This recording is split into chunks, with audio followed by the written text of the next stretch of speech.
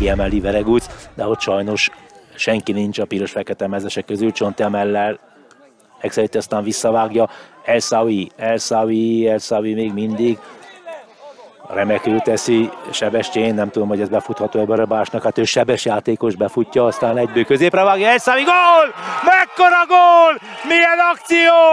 Ott van a 88. percben, Elszavi betalál! Elszavi, miután Berebás befutott egy befutathatatlan tűnő labdát, középre küldte, vezet ismét, illetve hát 3-3, de ezzel döntőben ebben a pillanatban az FK Csíkszereda nagyon akrobatikus, remek mozdulat Elszavitól.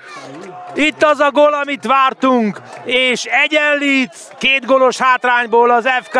Remek Berebás beadás, remek Elszavi befejezés. 3-3.